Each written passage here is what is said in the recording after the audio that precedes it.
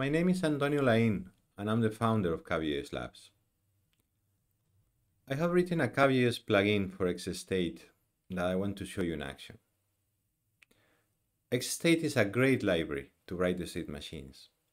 And when we combine it with our autonomous cloud assistants, we make it easier to remotely control IoT devices, make them feel alive, or synchronize actions on hundreds of thousands of them across the world.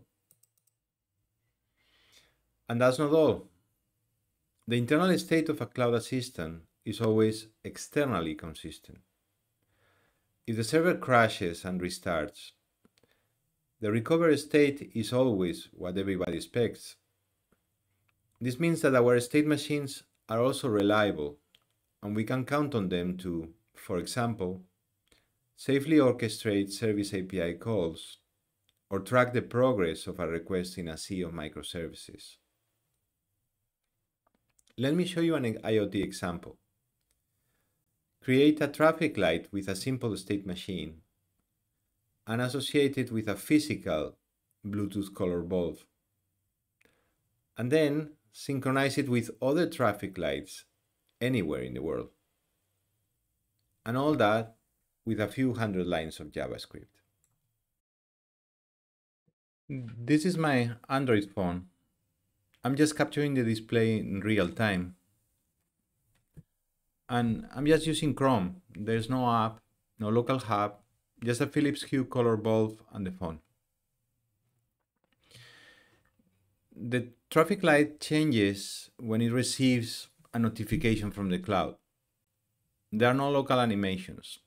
It is all driven by an autonomous cloud assistant running a simple state machine. Let's connect this state machine with a local bulb.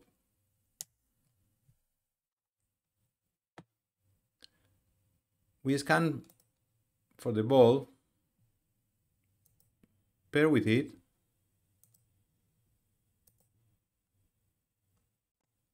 and now we confirm.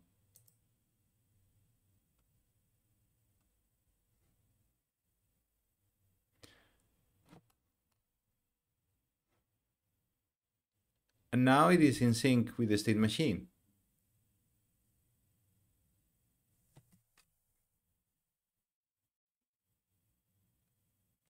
If another user foo creates another traffic light, we can see that the lights are not in sync. But that's easy to fix. We type the name of the previous one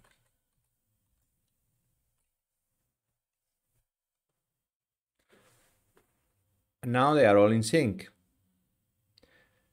And if now Foo connects to another Bluetooth bulb, they are all changing colors at the same time. In the Caf.js Cloud, we flex resources for your app up to hundreds of Node.js processes, all communicating with a Redis backend. So we could transparently scale this trivial app to hundreds of thousands of lights. By the way, there are about 300,000 traffic lights in the US. You clearly don't want to use Caf.js for a safety critical application like that, but you can really make a party. To learn more, visit our website. And this app and the framework are open source, are in GitHub. You can sign up for free and with no credit card to our Caf.js Cloud and we would love to hear from you. Thanks for listening.